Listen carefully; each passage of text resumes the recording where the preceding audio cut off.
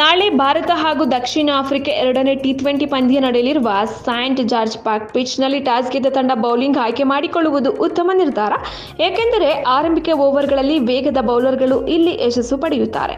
Bharat cricket ತಂಡದ ದಕ್ಷಿಣ Africa ಪ್ರವಾಸ ಅಂದುಕೊಂಡಂತೆ ಉತ್ತಮವಾಗಿ ಆರಂಭವಾಗಲಿಲ್ಲ. ಡರ್ಬ್ನ ಕಿಂಗ್ಸ್ ಮಿಡ್ ಸ್ಟೇಡಿಯಂನಲ್ಲಿ ನಡೆಯಬೇಕಿದ್ದ ಪಂದ್ಯವು ಒಂದು ಎಸೆತ ಕಾಣದೆ ಮಳೆಯ ಕಾರಣ ರದ್ದಾಯಿತು. ಇದೀಗ ಉಭಯ ತಂಡಗಳು ಎರಡನೇ ಪಂದ್ಯಕ್ಕೆ ಸಜ್ಜಾಗ್ತಿವೆ. ಸ್ಟ್ಯಾಂಡ್ ಜಾರ್ಜ್ ಪಾರ್ಕ್ನಲ್ಲಿ ನಾಳೆ ಭಾರತ ಹಾಗೂ ದಕ್ಷಿಣ ಆಫ್ರಿಕಾ ನಡುವೆ ದ್ವಿತೀಯ ಟಿ ಟ್ವೆಂಟಿ ಪಂದ್ಯ ಆಯೋಜಿಸಲಾಗಿದೆ. ಇನ್ನು ಸ್ಯಾಂಟ್ ಜಾರ್ಜ್ ಪಾರ್ಕ್ ಪಿಚ್ನಲ್ಲಿ ಟಾಸ್ ಗೆದ್ದ ತಂಡ ಬೌಲಿಂಗ್ ಆಯ್ಕೆ ಮಾಡಿಕೊಳ್ಳುವುದು ಉತ್ತಮ ನಿರ್ಧಾರ.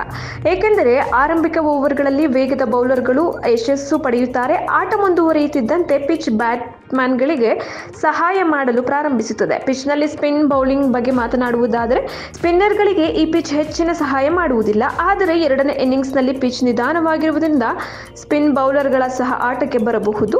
ಸ್ಟೇಡಿಯಂನಲ್ಲಿ ಇದುವರೆಗೆ ಕೇವಲ ಮೂರು ಟಿ ಟ್ವೆಂಟಿ ಪಂದ್ಯಗಳು ನಡೆದಿವೆ. ಇದರಲ್ಲಿ ಎರಡು ಪಂದ್ಯಗಳನ್ನು ಮೊದಲು ಬ್ಯಾಟ್ ಮಾಡಿದ ತಂಡ ಗೆದ್ದಿದೆ ಮತ್ತು ಒಂದು ಪಂದ್ಯವನ್ನು ಚೇಸಿಂಗ್ ಮಾಡಿದ ತಂಡ ಗೆದ್ದಿದೆ. ಈ ಮೈದಾನದಲ್ಲಿ ಮೊದಲು ಬ್ಯಾಟಿಂಗ್ ಮಾಡುವಾಗ ಸರಾಸರಿ ಸ್ಕೋರ್ ತೊಂಬತ್ತೊಂಬತ್ತು ರನ್. ಇನ್ನು ನಾಳೆ ನಡೆಯಲಿರುವ ದ್ವಿತೀಯ ಟಿ ಟ್ವೆಂಟಿ ಪಂದ್ಯಕ್ಕೆ ಕೂಡ ಮಳೆ ಅಡ್ಡಿಪಡಿಸಲಿದೆ ಎಂದು ವರದಿಯಾಗಿದೆ ಭಾರತ ಆಫ್ರಿಕಾ ಎರಡನೇ ಟಿ ಟ್ವೆಂಟಿ ಪಂದ್ಯ ನಡೆಯುವ ದಿನ ಶೇಕಡ ನಲವತ್ತೈದರಷ್ಟು ಮಳೆಯಾಗುವ ಸಾಧ್ಯತೆ ಇದ್ದು ಅಭಿಮಾನಿಗಳಿಗೂ ಹಾಗೂ ಆಟಗಾರರಿಗೆ ಸಂತಸದ ಸುದ್ದಿ ಸಿಕ್ಕಿಲ್ಲ.